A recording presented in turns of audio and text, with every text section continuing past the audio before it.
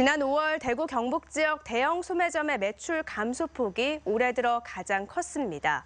한국은행 대구 경북본부에 따르면 지난 5월 대구의 대형 소매점 판매액은 지난해 같은 달보다 6.3% 줄고 경북의 대형 소매점 판매액은 지난해 같은 달보다 6.6% 줄었습니다.